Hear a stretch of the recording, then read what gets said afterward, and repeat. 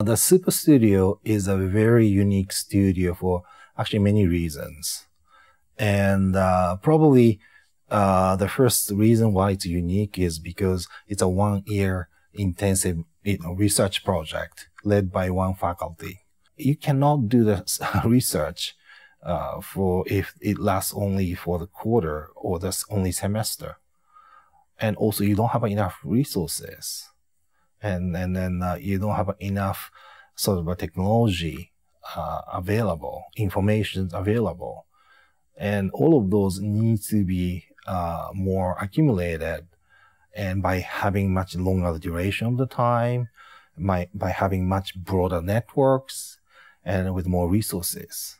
And those are uh, available in Super Studio uh, format, but I don't see any Super Studio format or something similar in other schools in United States. Right now, we have a Professor Thom Mayne and Professor Greg Lynn to teach next year Super Studio, plus one more professor from outside.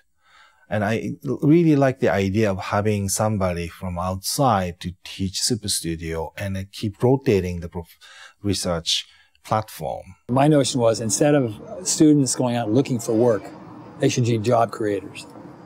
That should be taking place within a university as they're investigating problems and as they're um, the research leading to new avenues and it goes back to the discussion of broadening the field.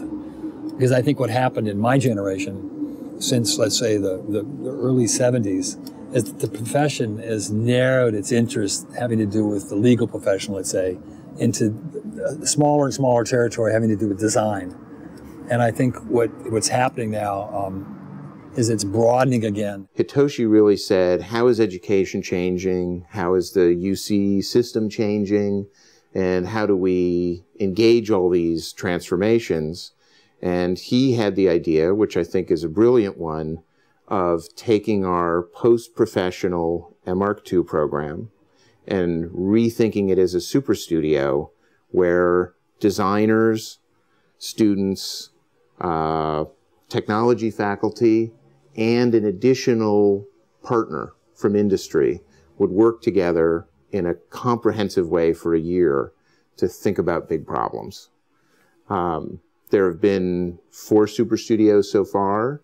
Um, the partners have been wide ranging, you know, from Toyota to Disney.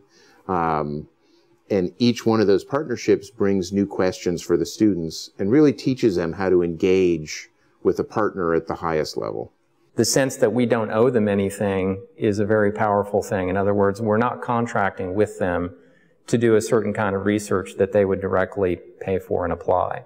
This is a research institution, so they're joining us to be able to work on, you know, everything from possible forms of practicality and application to blue sky, you know, sorts of things. But that's a really important point is that they're a catalyst rather than a, a kind of governor, you know, for the research having ex external campus uh, has a really, really symbolic meaning as a, just a statement that we will get out from academic environment into more uh, collaborative environment. We really want to be able to work in a kind of unfettered way. So right now, at this point, you know, prior to maybe the future of being able to um, put the Super Studio lab, you know, into a future, you know, School of Architecture, we're treating this sort of like a skunkworks project. Um, not that we want it to be secret, uh, but at the same time, it really is a, a, satellite, you know, beyond the campus. One of the things that's important about Super Studio is we don't know where we're going necessarily when we start. And for me, that means we're really doing R&D, trying to be provocative to someone who's in a different industry and trying to be anticipating where the field was going and, and really think where design could plug into that. How does architecture service a particular problem? What is our role in that? And that's the first question we ask.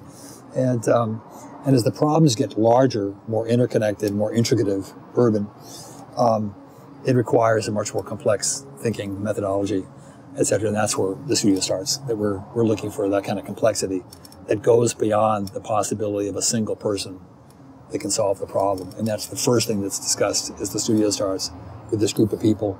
Los Angeles is a unique place right now for architecture and also architectural education because here there's an industry of high technology like aerospace and automobile design and there's a culture of entrepreneurship and uh, more importantly there's a culture here of trying to change the world.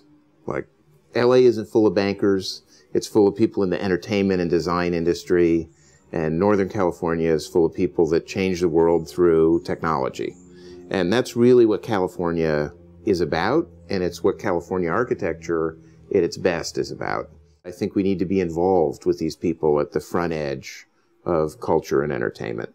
And that's why I moved to California 15 years ago. It's why I'm a faculty member at UCLA. It really, all those values of innovation, culture, experience, entertainment, these are the things I really believe in and love.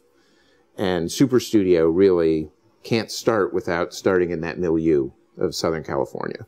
It's obviously a big, a big world, and, and we really appreciate, uh, especially students, you know, who come a, a great distance. But even if they're coming from, you know, around the corner, we're all part of a kind of a scene um, that's searching for kind of what's going to happen in the future with design, whether it's architecture or architecture beyond architecture.